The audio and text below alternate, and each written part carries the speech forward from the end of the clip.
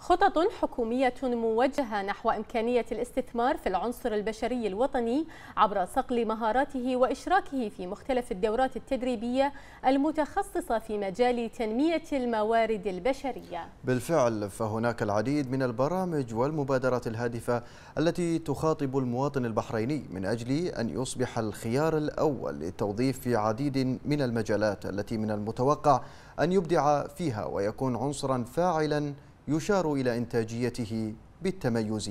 ودوام الاجتهاد.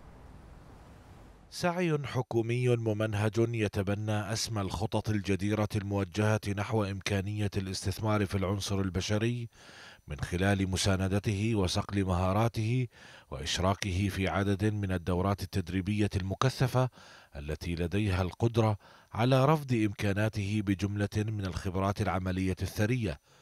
ليتمتع بعدها بكفاءة تامة وإلمام عالي المستوى بالمهارات والمعلومات الخاصة في مجال الموارد البشرية تؤهله إلى الدخول في معترك الحياة الوظيفية من أوسع أبوابها.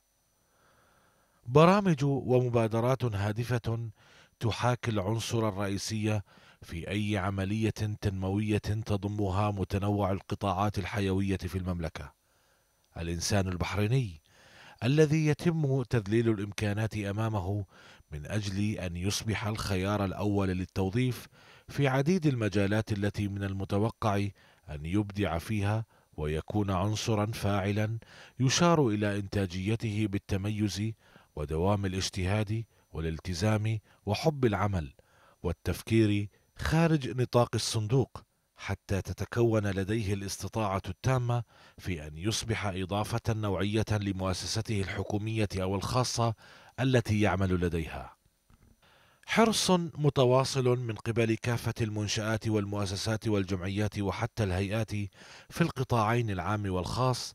على الاستثمار في العنصر البشري الوطني وجعله أولوية وطنية ترجمة لتوجيهات حضرة صاحب الجلالة الملك المفدى حفظه الله ورعاه لكون المواطن هو عماد وغاية التنمية وأن الاستمرار في دعم الشباب البحريني لرفع مستواه المهني باعتباره العنصر الأهم في بناء مستقبل الوطن الزاهر ضرورة حتمية. أجندات عمل وطنية طموحة وشاملة الأبعاد